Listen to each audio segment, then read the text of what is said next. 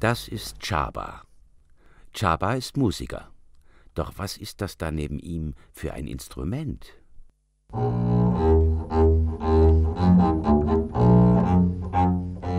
Das ist ein Kontrabass.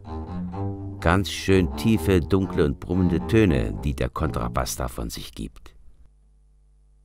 Der Kontrabass ist etwa 1,80 Meter hoch.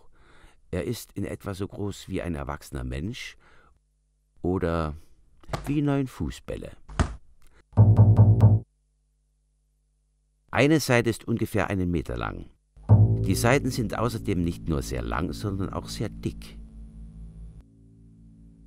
Wie soll ein Kind denn so ein großes Instrument spielen? Zum Glück gibt es auch Kinderbässe in verschiedenen Farben und Formen. Kinder können mit sieben Jahren anfangen, Kontrabass zu spielen.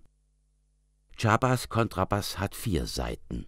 Wenn er aber im Orchester spielt, hat sein Kontrabass fünf Saiten, da oft noch tiefere Töne gebraucht werden. Vom Spielen auf dem Kontrabass hat Chaba schon eine richtige Hornhaut auf den Fingerkuppen. Wie spielt man auf einem so großen Instrument eigentlich? Natürlich kann Chaba im Stehen spielen. Aber der Kontrabass wird nach einer Weile ganz schön schwer. Deswegen kann er auch auf einem Hocker spielen. Dabei lehnt Chaba sein Instrument schräg an seinen Oberkörper.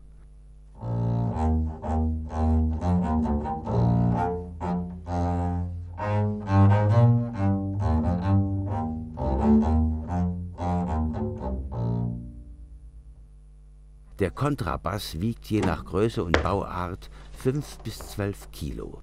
Das entspricht in etwa dem Gewicht von 1000 Bonbons.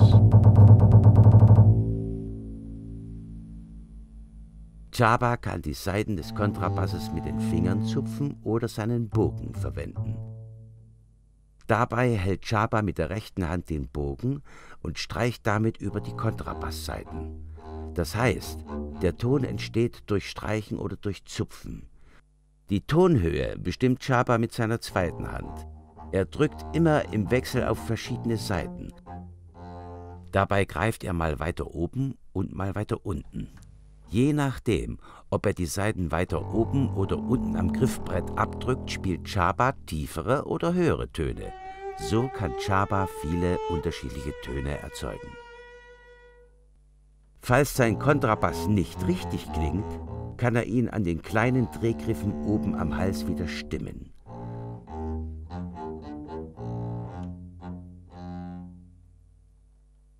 Der Kontrabass wird aus Holz hergestellt. Dazu werden drei verschiedene Hölzer benötigt. Fichte, Ahorn und schwarzes Ebenholz.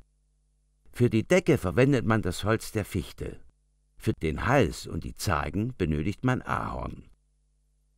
Zu guter Letzt fehlt nur noch das schwarze Ebenholz. Das findet man am Griffbrett und dem Ober- und Untersattel.